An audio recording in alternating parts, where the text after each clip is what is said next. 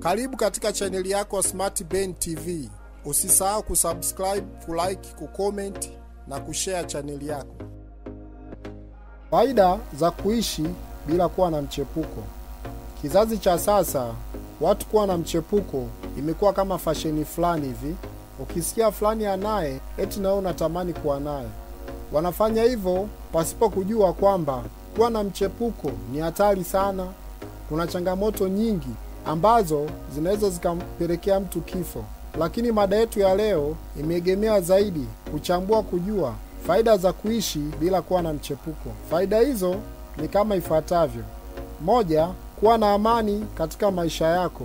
Kuwa na amani ni jambo muhimu sana. Neno amani ni neno dogo sana, lakini ikitokea ndani ya moyo wako ukakosa amani, kunakuwa hakuna hata haja ya kuishi katika dunia hii. Amani hufanya akili itulie, ijapokuwa watu wanafikiria kuwa na mchepuko huongeza furaha, lakini ukweli halisi, ukweli ambao upo ni kwamba vile ambavyo unachepuka ndivyo unavyofanya maisha yako kukosa amani. Hebu fikiria, kuna wakati mawazo yako yanaiwazia familia yako yanawaza na hao ambao unachepuka nao. Mbaya zaidi, yawezekana hao watu umeshirikiana nao bila hata kufahamu afya zao. Siku ukiambiwa taarifa zao, zani kama utapata amani ya moyo. Kuna wakati inatakiwa kutembea, kupita baadhi ya barabara na kufanya mambo mengi sana ambayo yanakuhitaji kuwa huru. Kwa mtu ambaye ni wa kuchepuka sana, anaweza akajikuta anakosa amani kwa vitu vingi sana, hasa inavyotokea familia inatoka kwenda sehemu mojawapo, sehemu za starehe kiujumla, na sehemu zingine za kimaendeleo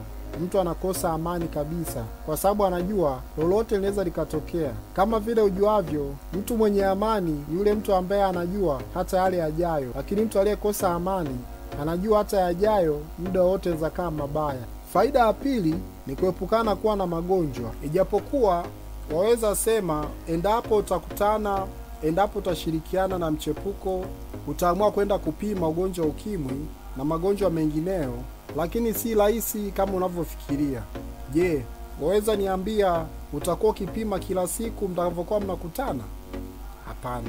Na je, ikitokea mnawaza mbali zaidi mpate mtoto, na wakati huo huo huyo mchepuko naye na marafiki zake, aidha wa kiume au wa kike, si jambo jepesi kirahisi hivyo kwamba mtajihakikishia amani mioni mwenu ya kwamba mtaweza kuushinda hata ugonjwa.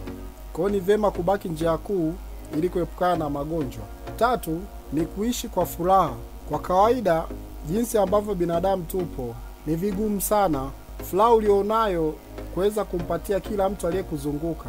Kwa wakati huo huo mmoja uweze kufurahi na michepuko wako sita, tena muda huo huo ufurahi na mwenza wako unaishi naye, inakuwa ni jambo gumu kidogo.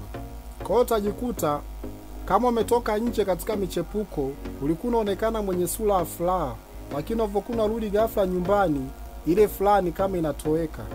Hata kama ipo, inakuwa ni ya kuigiza, kwa sababu unakuwa ni mtu ambaye umejawa hofu.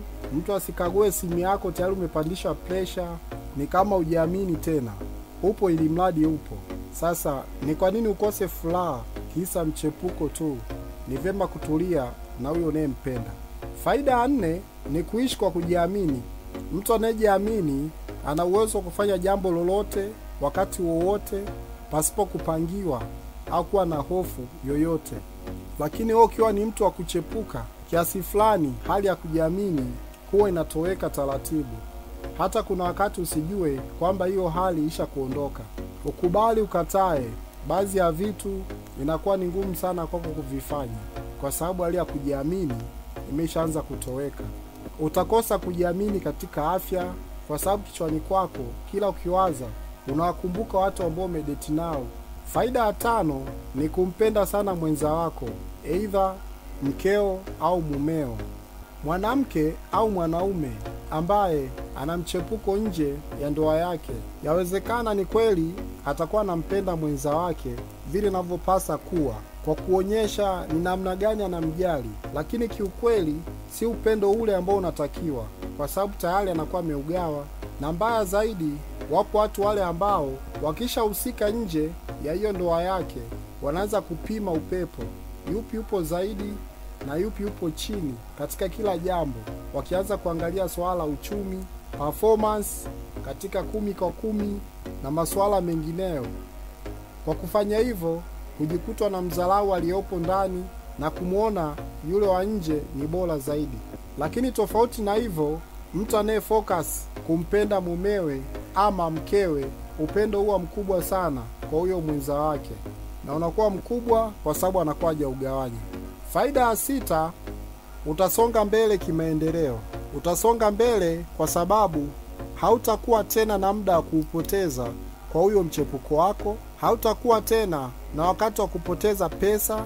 Hii hajalishi we ni mwanamke au mwanaume. Kuna wakati mwanamke naye hutoa pesa ili kumfata huyo mchepuko wake. Kuna wakati mwanamke hata kama atoe pesa, naye anapoteza muda ule muda ambao itakiwa aihudumie familia yake, anajikuta anamhudumia mtu ambaye sio wa familia yake. Sasa piga mahesabu, ule muda wote anaotumia kuupoteza nao michepuko wake autumie katika familia yake, hiyo familia yake itaendelea kwa kiasi gani? Pesa ambazo zinatumika kuendea gesti, pesa zinazotumika kwa ajili ya usafiri, sehemu ya kukutaniana, vyakula pamoja na vinywaji, ikigeuzwa na kuletwa katika familia, nadhani familia itafika mbali sana. Faida ya saba, utapata muda mwingi sana kuwa na familia yako. Yawezekana uko bize sana na kazi, hiyo kazi na kufanya utoke saa kumi na mbili. Muda huo huo inatakiwa ukutane na watu ambao ndo michepuko wako. Muda huo huo inabidi urudi nyumbani kwenye familia, kwa lazima muda utaupunja katika familia yako, na muda mwingi utakuwepo kwao michepuko wako kabla hujarudi nyumbani. Sasa ikitokea umekansel safari zote hizo ambazo ulikuwa ukizienda baada ya kutoka kazini, ina maana utautumia muda mwingi sana kuwa pamoja na familia yako. Faida ya nane, utaheshimika katika jamii. Haijalishi kipindi hiki kuwa na mchepuko, yawezekana ikaonekana ni fashion, yawezekana ikaonekana ni ujanja na masuala mengine, lakini kiuhalisia ni kwamba katika jamii, endapo atatambua huo mchezo ni tabia yako unaifanya hivyo, hakuna ambaye atakaye kuheshimu. Utaonekana wewe ni muhuni tu na utaonekana una maana katika jamii yako. Yawezekana hata kama alikuwa akikutegemea katika ushauri na masuala mengineyo, hata kuona kama unafaa tena. Kiujumla, kuhusiana na mada yetu ya leo, twaweza kujifunza kitu kimoja, ni kwamba watu wengi wanaoamua kuwa na michepuko yawezekana wamekutana na changamoto nyingi, kwa mbali na wenza wao, kukorofishana katika ndoa, kushindana katika mahusiano yao na kufanyana vurugu nyingi ambazo zinapelekea kila mmoja aonyeshe uzaidi zaidi ya huyo mwenzake. Lakini kumbe yawezekana yale matatizo katika familia inawezekana kuyatatua ili kutokujiingiza sasa katika masuala ya michepuko na kama mpo mbali, mnaweza mkatafuta namna aidha kuiunganisha familia ikaishi pamoja, ama kuamua kutembeleana mara kwa mara ili kupunguza vitendo vya kuchepuka baina yenu na masuala ya migogoro inayopelekea mwanamke kukimbilia kwao au mwanaume kukimbia familia.